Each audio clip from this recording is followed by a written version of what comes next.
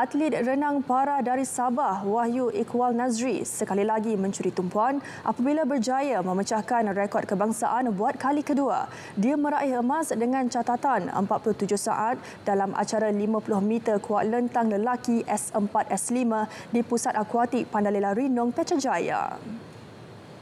Terdahulu, Wahyu turut mencipta rekod dalam acara 100 meter gaya bebas lelaki dalam kategori sama.